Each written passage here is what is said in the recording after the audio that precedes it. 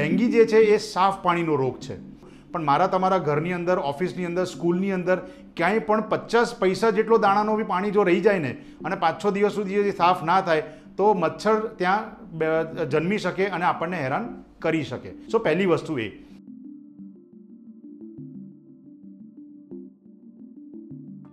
બીજી વસ્તુ જ્યારે એ મચ્છર આપણને કરડે છે ત્યારે એની અંદરથી આપણા બોડીમાં વાયરસ એન્ટર થાય છે અને એ વાયરસ અંદર બોડીમાં જઈને એટલા બધા કણો બનાવી દે છે કે આપણને એ પછી ડેન્ગીના સ્વરૂપમાં દેખા દે છે.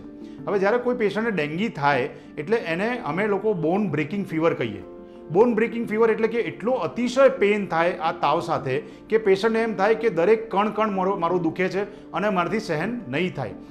આ પેશન્ટોને ફીવર કમસે કમ છથી સાત દિવસ સુધી ચાલતું હોય છે. એની સાથે તમારું માથું દુખવું, શરીર તૂટવું, તમારા સાંધા દુખવા એ થઈ શકે, તમને ઉલટી જેવું લાગી શકે, આગળ જતાં તમને ડાયરિયા થઈ શકે, ઝાડા ઉલટી જેને કહેવાય, આગળ જતાં તમારા બોડી પર ચાટા થઈને તમને ઇચિંગ પણ થઈ શકે. સો આ ડેન્ગીની એક આખી સિક્વિલી છે જે તમને છથી સાત દિવસમાં ભોગવવી પડે. અત્યારે ધારો કે દસ હજાર લોકોને ડેન્ગી થતા હશે ને, તો એમાંથી કદાચ જૂજ એક ટકા લોકોને બ્લીડિંગ થતી હશે. અને બાકીના નવ્વાણું ટકા લોકોને પ્લેટલેટ કાઉન્ટ દસ હજાર, પાંચ હજાર બી થઈ જાય ને, તો બ્લીડિંગ નથી થતી હોતી.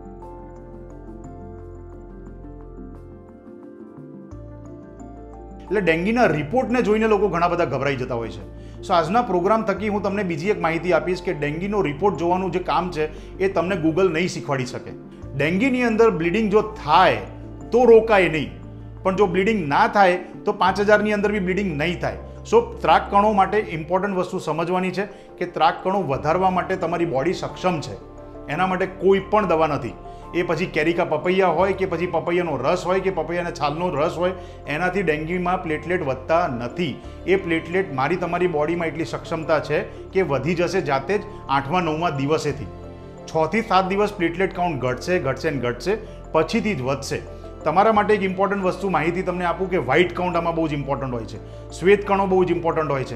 શ્વેત કણો જ્યારે વધવાના ચાલુ થાય ઘટીને, ત્યારે સમજી લેવું કે મારું ડેન્ગ્યુ જતું રહ્યું છે. આ તો થઈ આપણી ઇન્વેસ્ટિગેશનની વાત, જે તમારે સમજવી પડશે.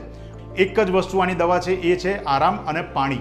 જો તમે આખા દિવસમાં તમારા બોડી વેટ પ્રમાણે કમસે કમ સાડા ત્રણથી સાડા ચાર લીટર લિક્વિડ પાણી વધતા બધી વસ્તુઓ, પછી એ સૂપ હોય, ચા કોફી હોય, દૂધ, દહીં, છાશ હોય, કે પછી તમારું નારિયેળ પાણી હોય, લીંબુ પાણી હોય, લેતા રહો, તો તમારે દાખલ થવાનું નહીં જ આવે. અને અનનેસેસરી કાઢાઓ નથી લેવાના અનનેસેસરી કોઈ જાતના દ્રાવ્યો નથી લેવાના અનનેસેસરી કોઈ એન્ટીબાયોટિક નથી લેવાની.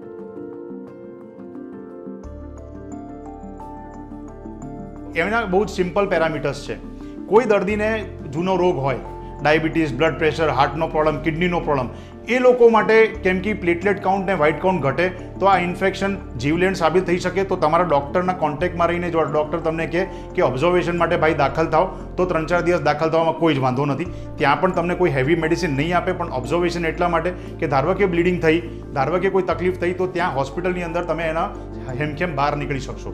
બીજા જે દર્દીઓ પાણી કે લિક્વિડ કે ખોરાક ના લઈ શકે, જેમનો ખોરાક અતિશય ઓછો છે, જેમનું લિક્વિડ અતિશય ઓછું છે, જેમનું પેશાબ એકદમ કાળ, એકદમ ઘાટું યલો કલરનું આવે છે કે જેમનું પેશાબ લાલ થઈ જાય, એ લોકોને તાત્કાલિક દાખલ થવાની જરૂર છે, બોટલ ચડાવવા માટે, ના કે કોઈ ચમત્કારિક મેડિસિન માટે.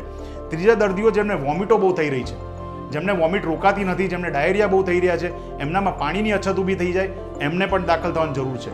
જે લોકોને બ્લીડિંગ થઈ જાય બ્લીડિંગ પછી ઝાડામાં હોય, પેશાબમાં હોય, નાક દ્વારા થતું હોય, એમને પણ દાખલ થવાની અતિશય જરૂર છે. અને છેલ્લી વસ્તુ જે આવે છે એ કે તમે કોઈ પણ જાતની લોહી પાતળું કરવાની ગોળી લેતા હો. અને તમારે એ ગોળી લેવી જ પડતી હોય સ્ટેન્ટ મૂક્યો છે, બાયપાસ ગ્રાફ્ટિંગ કરી છે, તો અંડર ઓબ્ઝર્વેશન તમારે દાખલ થઈને દવા લેવી પડતી હોય છે. અને છેલ્લે આવે છે કે તમને બીજો કોઈ રોગ આની સાથે થાય. તમને બેક્ટેરિયલ ઇન્ફેક્શન થાય, તમને આ રોગ સાથે તમારા મગજ પર એ તાવ ચડી જાય કે તમારા લીવરને ડેમેજ કરી જાય કે તમને કિડનીને ડેમેજ થઈ જાય, તો તમારા ડૉક્ટરના ગાઈડન્સની અંદર તમારે દાખલ થવું પડતું હોય છે. દાખલ થયા પછીથી તમારે એક વસ્તુ યાદ રાખવાની છે કે તમારા ડૉક્ટરની જ વાત માનવાની છે. તમારે ગૂગલ દેવો ભવો નથી કરવાનું.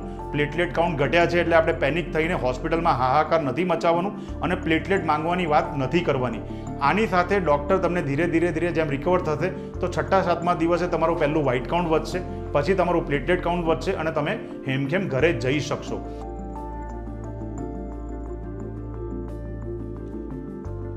ઘરે ગયા પછીથી ડેન્ગ્યુ મટી ગયું એટલે એનું મતલબ એ નહીં કે પતી ગઈ વાર્તા. પોસ્ટ વાયરલ બહુ જ ઇમ્પોર્ટન્ટ વસ્તુ છે કે એક વીકનેસ રહી જાય, એક થાક રહી જાય અને ઘણા બધાને હેરફોલ થતું હોય છે. એટલે આ ત્રણ વસ્તુ ના થાય એના માટે કોન્સ્ટન્ટ પાણીનો પ્રવાહ રાખો કોન્સ્ટન્ટ સારો ખોરાક ખાઓ, બહારનો ખોરાક ના લેશો અને છેલ્લે વસ્તુ હેરફોલ બહુ થતું હોય તો તમારા ડૉક્ટરને મળીને એની ટ્રીટમેન્ટ કરાવવી જરૂરી છે. જ્યારે પણ ડેન્ગીના કારણે તમારા ત્રાકણો એટલા બધા ઘટી જાય કે લીવર પર ડેમેજ કરી જાય અને તમારા બોડીની અંદર લોહી જે છે એ સડનલી એકદમ એટલું બધું પાતળું થઈ જાય કે બધેથી એ રીસવા લાગે. એ તમારા નાકમાંથી નીકળે, તમારા ઝાડા વટે નીકળે, તમારા પેશાબ વટે નીકળે અને ઇનફેક્ટ તમારા બોડી પર ચકામાં પડીને એમાંથી બ્લીડિંગ થતું હોય તો એને ડેન્ગ્યુ હેમરેજિક ફીવર કહેવાય. હવે એની સાથે પેશન્ટોને ડેન્ગ્યુ શોક થતો હોય છે. એનો મતલબ કેમ કે મારા બોડીની અંદરથી ઘણું બધું લોહી નીકળી જાય છે. એટલે મારા બોડીનું બીપી સડનલી ડાઉન થાય, મારું પલ્સ સડનલી વધવા લાગે અને હું શોકની અંદર જઉં. એટલે ડેન્ગી હેમરેજિક ફીવર અને ડેન્ગી શોક ફીવર એ બહુ જ કોમન કોમ્પ્લિકેશન છે. પણ મેં કીધું એ પ્રમાણે અત્યારના સિઝનમાં ડરવા જેવું નથી. કેમ કે દસ હજારમાંથી કદાચ એક ટકા લોકોને જ આ થઈ રહ્યું છે. એટલે એના માટે ચિંતા કર્યા વિના ઇમ્પોર્ટન્ટ વસ્તુ એ છે. જે મેં પહેલાં કીધી એ પ્રમાણે જાત મહેનતે દવા ના લેશો. ટાઈમલી એનું નિદ- નિદાન કરશો ટાઈમલી તમારા ડૉક્ટરને ફોલો કરશો અને તમારે તકલીફ થતાં થતાં ડૉક્ટરનો કોન્ટેક્ટ કરશો, તો આમાંથી તમે બચી શકશો.